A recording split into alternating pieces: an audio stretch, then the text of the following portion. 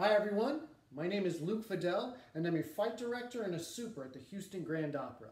That means whenever you see some sort of violence that's happening on the stage, I'm usually involved in it in some way, shape, or form. Most likely, I'm getting beat up by one of the principals. I love my job. Anyways, we're here to make light of a dark situation and sort of talk about what we've been doing while we've all been locked away.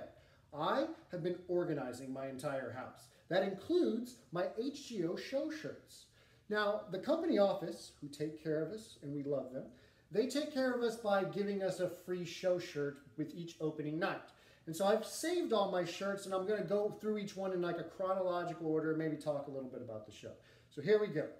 First show I'm to talk about is Aida. This Aida we did a while back. It was the Zandra Rhodes production. It was my second opera, so it was still very green. But as you can see, this show is very bright and turquoisey.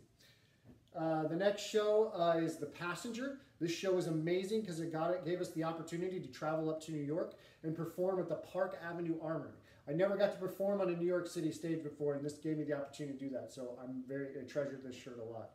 Uh, for this this next shirt is the start of the four-year journey into the ring cycle. So this was Rheingold. Uh, the next show is Otello. In this show, I got beat up. This is one of those shows where you could see me get beat up by Michael Cassio. He was a tenor. He, he threw me around a little bit and roughed me up. Next show, you didn't see me at all, but you might remember me. I was the bear in Magic Flute, so that was fun. Uh, the second uh, part of the ring cycle, Die Valkyrie. As you can see, this shirt has some wear and tear because it's one of my favorite shirts I wear a lot. Uh, the next show is Eugene Onegin, the show with all the chairs. Uh, Rusalka was a fun show, the modern day Little Mermaid. We were all Ježibabas and we helped her conduct her spells when we did that show. Uh, Siegfried was the third show in the ring cycle. Uh, this is the dragon that we had to fight. Uh, we were part of the dragon, a giant mobile that we were part of. Uh, Faust, I played God, played God in Faust, and I also was a fight director on this show, so we did all the fight choreography for that show. That was fun. Uh, the final show of the ring cycle was Götterdämmerung. I was uh, a crane operator again, but I was also Loki at the very end. I got to travel around on a little Segway. Uh, the next year we were at Resilient Theater at, at, the George R. Brown, so we didn't really get any t-shirts. But we came back strong the next year with the Flying Dutchman, and we were all ghost pirates. Uh, then La Boheme uh, was going on at the same time, so we were doing that show as well.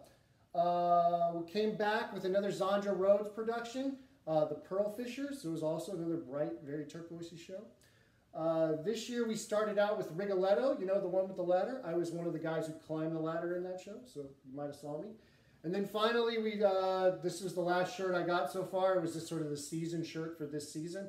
Uh, I was the fight director for La Favorite, and I was also uh, in Aida.